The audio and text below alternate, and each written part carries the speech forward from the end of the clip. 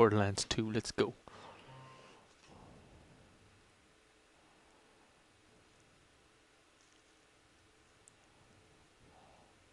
Black screen, black screen, black screen.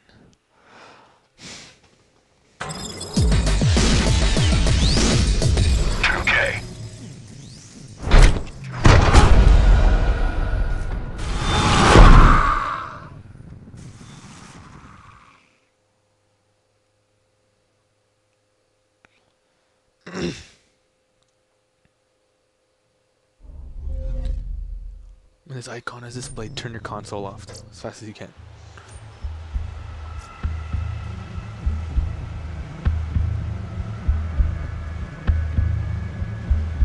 Oh, original Borderlands.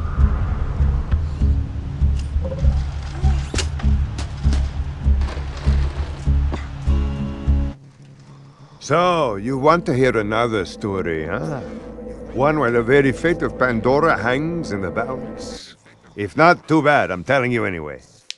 First, there was the Vault, an alien prison opened with a mystical key. To the warriors who opened it, the Vault was just a container of tentacles and disappointment. They vanished into the wastelands, certain that the Vault held no treasure at all. They were wrong. The vault's opening triggered the growth of iridium, a priceless alien element. Soon, the rare and valuable mineral emerged all across Pandora. Its appearance attracted many, including the Hyperion Corporation. They came to Pandora to mine iridium and bring order to the savage planet.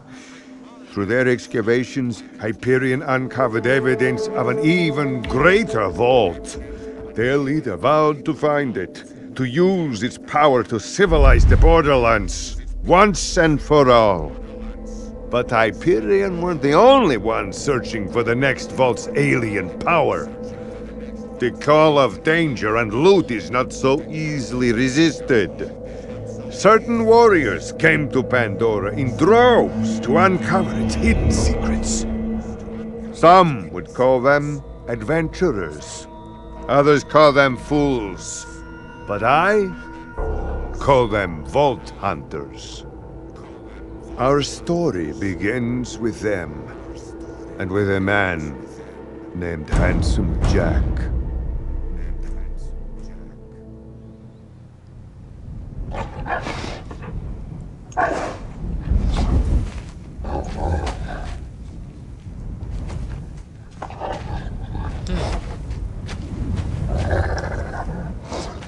A skeg.